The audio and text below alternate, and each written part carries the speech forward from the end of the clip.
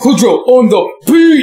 I'm coming at you today with a gear review on the orange 2x12 cab versus a Harley Benton 2x12 cab. Both of them are fully loaded with Celestion Vintage 30s. Both of them are rated for 120 watts. The Harley Benton is switchable between 8 ohms and 16 ohms. The Orange cab is not. It is fixed at 16 ohms. We're going to do a side-by-side comparison of these two today. We're going to have them both set to 16 ohms. We're going to have the volume set exactly the same on both cabs, so there are no variation. I'm going to put it at the edge of the cone where the middle meets the outside. So I'm going to have them both there in the sweet spot. Unfortunately, I don't have an SM57 at the moment, so I'm going to roll with an SM7B. Going to be playing through a Line 6 Vetta 2 HD head. Freaking love Line 6 stuff. The higher end Line 6 stuff is amazing. You have everything built in. It's pretty much an HD 500 in a head form. It's like 350 watts. You have your tube screamer, your noise gate, your all your effects, your reverbs, delays, your burger, durka, durkas, phaser, flanger, dirk. You have all, you have everything built in to this head. And you only have to run one cable to your pedal, and that is a Cat 5 cable. That's it. There's no power cable for the longboard that I have, and it's beautiful. This amp rocks. I don't know why they stopped making it. You can find one used for about, you know, three to four, five hundred dollars, depending on who you're dealing with. I'm going to be playing through my Fender Contemporary Jazzmaster with the Mick Thomson pickups. I've done a review on this guitar as well if you would like to go check out the review, click. The Harley Benton cab goes for about $250. It comes from Germany. It took me about a month and a half, two months, or something like that to get it, uh, because there are there is such a heavy backlog for it right now. The Celestion Vintage 30s normally will run you about 150 bucks just for the speakers. So you got two speakers. Nor normally that's going to cost you 300 bucks for the pair but you get them inside of a cab for 250 ridiculous. I think it was under 250 it was like 230 something the thing will stack up against a drum set if you're trying to pl- practice or play live shows with it. Way better than hauling around a 4x12 cab where you have to have an suv pickup truck or something big to carry one of those 4x12 cabs. 2x12 you can put it in your car put your head you put your guitar you're ready to go.